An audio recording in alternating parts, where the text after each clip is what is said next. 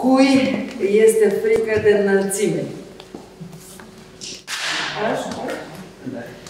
Și eu sunt genul de om care, pe vremuri, mergeam uh, la piscină și nu stăteam niciodată în cap, mă duceam pe acolo la scară, pentru că mă gândeam, eu nu sunt un notător profesionist, eu sunt de plăcere, place apa, mă duc pe la scară, după Până când, în ianuarie, am ajuns în Puca Beach, în Filipine, cu colegii mei de serviciu. Ce să vezi, acolo, pe o insulă absolut superbă, se făceau sărituri de pe stâng. Și toată lumea o făcea. Și da, eu eram acolo, stăteam și mă gândeam pe placa aia de lemn, să sar, să sar, nu, nu, nu, nu. Dacă fugea, dacă vin rechinii, dacă mă lovesc de placa asta de lemn.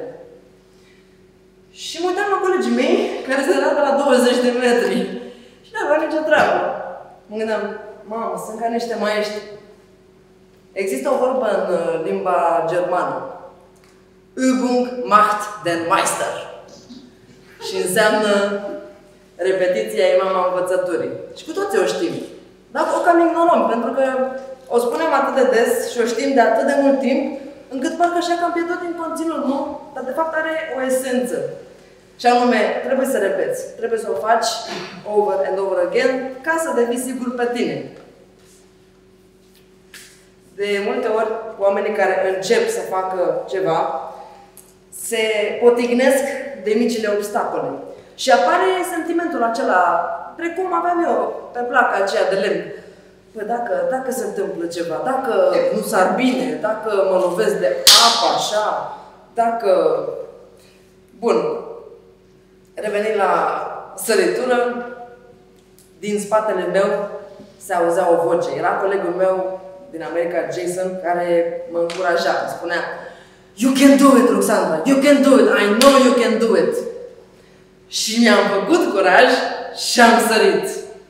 A fost sublim, vreau să vă spun. Deci sentimentul ăla atunci când pur și simplu faci pasul la necunoscut, este absolut sublim. Evident că am mai sărit și vreau să rămâneți cu următoarele idei din uh, tot ce v-am povestit până acum.